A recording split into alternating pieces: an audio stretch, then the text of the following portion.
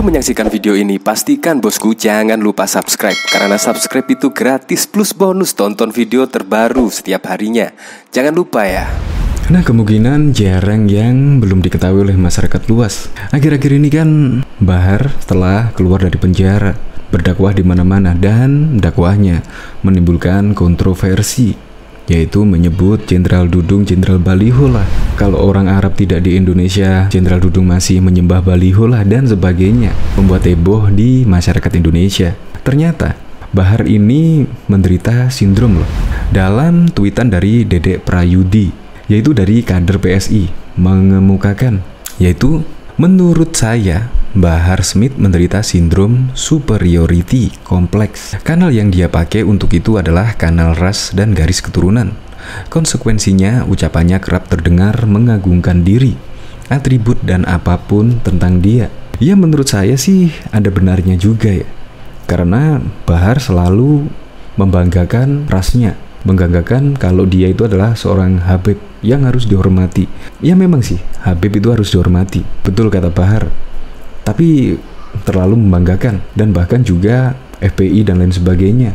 Maka menurut saya tidak salah kalau Dedek Prayudi, salah satu kader dari PSI, mengemukakan hal sedemikian rupa. Dalam tweet selanjutnya, gegara kelakuan Bahar, banyak Habib yang juga bin Smith yang kesel. Jadi itu Habib yang bin Smith itu tidak hanya Bahar saja, ternyata banyak juga. Dan yang marga Smith tersebut ikut kesal dengan ulah bahar ini. Salah satunya temanku ini untuk menghindari kesan adu domba antar keluarga nama depannya ku sensor. Intinya nggak semua Smith kayak bahar. Nah, dia memberikan catatan sudah mendapatkan izin dari yang bersangkutan. Nah, isinya seperti ini. Dia men-share sebuah berita dia bilang Bin Smith itu bukan dia doang. Udah banyak kalangan Smith sendiri San yang bahas bahar ini, Sans termasuk bokap gua sendiri. Alah, anak baru kemarin, ujar temennya Dedek Prayudi tersebut. Nah, dari komentar-komentarnya ya seperti itulah. Tetapi secara logika menurut saya sih benar ya. Soalnya dia terlalu mengagungkan dirinya. Dia keturunan apa dan selalu membanggakan apa yang dia miliki. Ya seperti macam-macam lah. Tetapi Anda bisa menyimpulkan sendirilah apakah Anda setuju, apakah tidak. Untuk lebih lengkapnya simak berita berikut ini Good News Indonesia. Akhirnya terungkap Bahar derita sindrom ini. Pantesan galaknya minta ampun. Bahar Smith belakangan ini menjadi perhatian Selepas keluar dari penjara, Bahar gas keliling berbagai daerah mengisi pengajian dan memberikan semangat perjuangan pendukung HRS. Nah, Bahar dinilai menderita sindrom ini loh. Mantan juru bicara Partai Solidaritas Indonesia, Dede Prayudi menilai Bahar ini menderita sindrom tertentu yang membuat membanggakan rasnya. Mencermati manuver Rizik Sihab, Dede berpandangan bahwa Bahar menderita sindrom superiority kompleks, sindrom yang merasa superior dengan menggunakan kanal ras dan garis keturunan. Dalam ceramahnya, Bahar menegaskan dia adalah cucu Nabi Muhammad sama seperti dengan HRS yang mengalir darah Nabi Muhammad. Menurut saya, Bahar menderita sindrom superiority kompleks. Kanal yang dia pakai untuk itu adalah kanal ras dan garis keturunan. Konsekuensinya, ucapannya kerap terdengar mengagungkan diri, atribut, dan apa pun tentang dia. Kicau Dedek dikutip Jumat 17 Desember 2021. Nah ternyata Dedek mendapati tidak semua Habib keturunan Smith senang dengan kelakuan Bahar Loop. Nggak asal bicara, mantan jubir PSI itu menunjukkan bukti testimoni salah satu keluarga Habib bin Smith yang gerah dengan kelakuan Bahar. Gegara kelakuan Bahar, banyak Habib yang juga bin Smith yang kesal. Salah satunya temanku ini. Tulis Dedek menunjukkan tanggapan layar percakapan dengan salah satu Habib bin Smith. Dalam tanggapan layar yang dibagikan itu, Habib bin Smith bereaksi dengan kiriman potongan berita Habib Bahar. Tidak ada ulama Arab di Indonesia, Dudung masih menyembah pohon. Si Habib bin Smith ini mengomentari begini, bilang bin Smith bukan dia doang. Keluarga keturunan Habib bin Smith ini lanjut berkomentar di kalangan keturunan bin Smith sudah banyak yang membicarakan manuver Bahar ini. Anak baru kemarin tulis keturunan bin Smith komentar soal sepak terjang Bahar. Siapa sih Bin Smith yang berkomentar minor soal Habib Bahar ini? Dede nggak mempublikasikan identitasnya.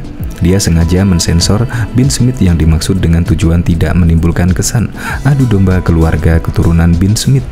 Intinya, gak semua Smith kayak Bahar. Tulis Dede meringkas percakapannya dengan keturunan Bin Smith yang dimaksud. Diketahui politisi Partai Solidaritas Indonesia, Muanas Alaidit, angkat bicara soal pernyataan pedas Bahar bin Smith terhadap kasat Jenderal Dudung Abdurrahman. Lewat sebuah cuitan di akun Twitternya, Muanas memberikan pembelaan untuk Jenderal Dudung. Ia menyebut bahwa mantan Pangdam Jaya tersebut masih memiliki garis keturunan dari Sunan Gunung Jati. Lebih lanjut, Muanas balik menghujat Bahar sebagai sosok yang suka bikin onar. Jenderal Dudung keturunan Sunan Gunung Jati, penyebar Islam yang damai, bukan yang bikin onar dan gaduh seperti Bahar. Tulis Muanas Alaidit dalam cuitannya seperti dikutip suara.com pada Jumat 17 Desember 2021. Cuitan tersebut diunggah oleh Muanas sebagai tanggapan terhadap sebuah artikel yang memuat pernyataan Bahar yang menyindir Jenderal Dudung Abdurrahman jaringan suara.com, sebuah video ceramah dari pendakwah Habib Bahar Smith menyebut jika ulama Arab tidak datang ke Indonesia maka Jenderal Dudung Abdurrahman masih menyembah pohon viral di media sosial. Video Bahar Smith menyindir Jenderal Dudung terkait kedatangan ulama Arab di Indonesia itu viral setelah diunggah pengguna Twitter tukang rongsok seperti dilihat pada Kamis 16 Desember 2021. Bahar sempat menyindir Jenderal Dudung sebagai Jenderal Baliho terkait peristiwa penurunan Baliho HRS beberapa waktu lalu. Ia juga menyindir Jenderal Dudung terkait OPM.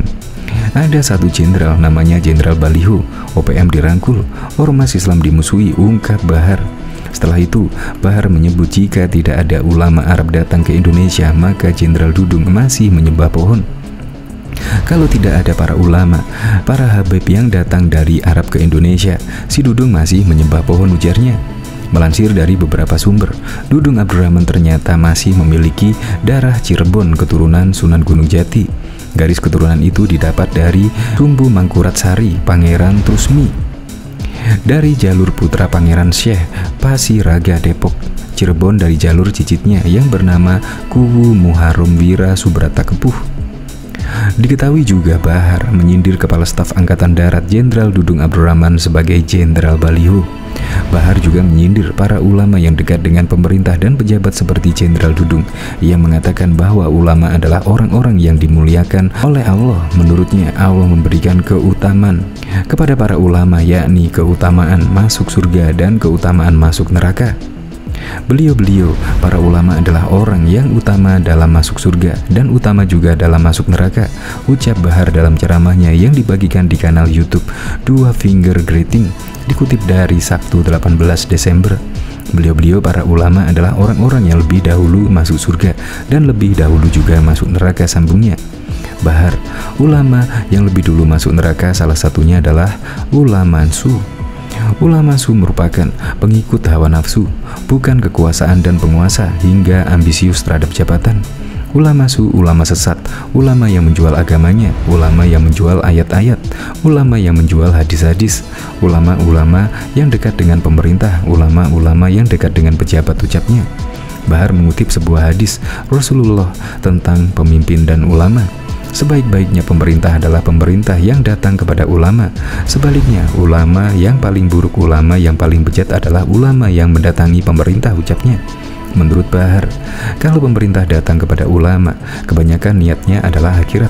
Tapi kalau ulama yang datang ke pemerintah itu kebanyakan niatnya duniawi, jelas Bahar. Meski begitu, tidak semua ulama yang mendatangi pemerintah itu tujuannya buruk. Ada juga ulama yang datang ke pemerintah untuk tujuan kemaslahatan umat dan rakyat. Makanya sering saya bilang para ulama, para ustadz, para kiai, para habib mau dekat dengan pemerintah, mau dekat dengan pejabat bagus. Tapi dekat dengan mereka, nasihati mereka, katakan kebenaran kepada mereka, makmurkan rakyat, lawan teroris, lawan itu OPM yang ingin mengobok-ngobok NKRI. Bahar menyindir ulama yang dekat dengan pemerintah dan pejabat seperti Jenderal Dudung yang ingin merangkul teroris organisasi Papua Merdeka OPM. Jangan dekat sama pemerintah dekat sama rakyat, dekat sama Dudung, malah membenarkan daripada apa-apa yang salah. Tahu Dudung kan, Jenderal Baliho itu jelas Bahar Smith. Ia mengatakan, ulama yang dekat dengan pemerintah dan pejabat seharusnya membersihkan kotoran dalam sistem pemerintahan, bukan malah ikut kotor. Pungkas Bahar.